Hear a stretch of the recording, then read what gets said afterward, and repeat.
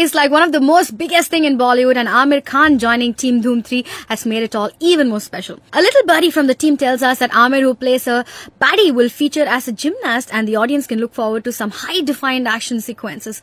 Also after completing Reema Kagti's next film, Aamir is keen to get trained by a professional gymnast trainer who will help him to perfect his body and moves. Oh yes, this definitely is not something that is surprising because when it comes to Aamir, Mr. Perfectionist, we know he does anything and everything to get things right. Just like his six packs look in Ghajini became the talk of the town, we can definitely see a huge transformation in Dhoom 3. So guys, watch out.